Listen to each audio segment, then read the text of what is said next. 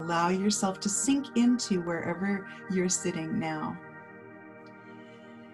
And imagine how supported your physical body could feel to just recognize this physical support that you're experiencing. And I invite you to close your eyes if you'd like to.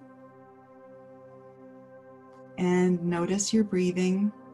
Whether it's deep or shallow, doesn't matter. Just observe your breathing and a way to connect to yourself. Now, I'd like you to, in your mind's eye, look around you in this space that you have created for yourself today to experience this together. And what resources do you have that you have brought with you to this moment? Did you prepare a glass of water or a cup of tea for yourself to take care of yourself as we sit together? Do you have something of beauty that when you open your eyes you can look at and it's reassuring or gives you pleasure? What other resource do you have? Whether it's a comfortable pair of slippers or a wonderful, warm, cozy pair of socks or if it's a clothing that feels soft on your skin, what did you do today to support yourself in this environment where you find yourself for a short time together with us? We have resources and we can take action to bring those resources from our external world into our experience of the moment. So, if you have a flower nearby or a plant that supports you by reminding you of the ever springing life that we all contain and, and exhibit every day. Or if you have a comfortable pillow or cushion or blanket or slippers or anything else that you use to comfort yourself, to be at ease and to be comforted, you can enjoy that. And you can appreciate the efforts that you've taken to comfort yourself and to make yourself comfortable today. In addition to our resources that we bring into our environment to support us, we also have deep resources inside. And so I wonder what resource was it inside you that brought you to be here with us today?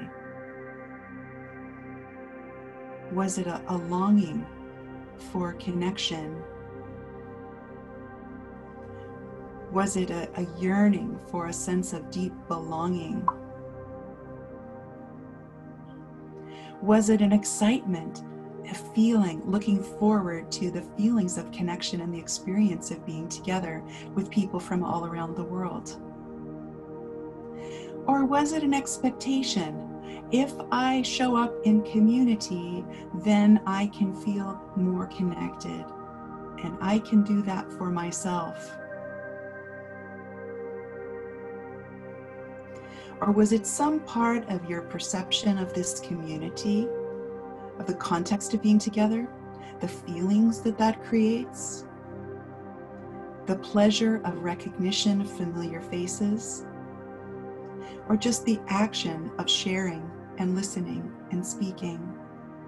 What parts of your iceberg brought you here today?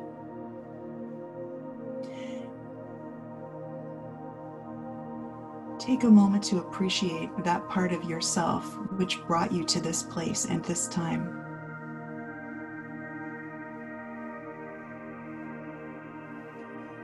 That part of your iceberg, that part of your inner self that brought you here today, that is your strongest inner resource in this moment. And I personally am grateful that you listened and utilized that resource.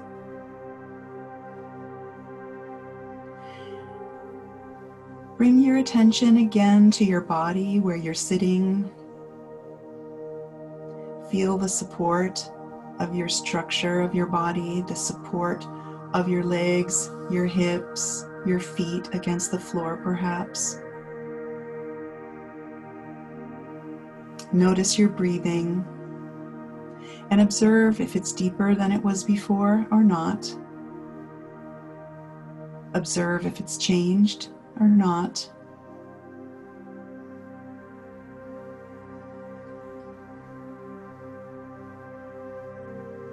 And if it feels appropriate, you can invite a smile.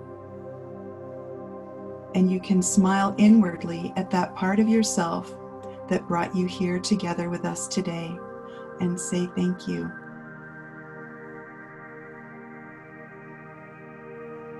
Thank you. And as we come from our internal world back into community, I invite you to move your body or stretch or yawn or whatever feels comfortable and appropriate for you to be in this time and this place in community. Thank you.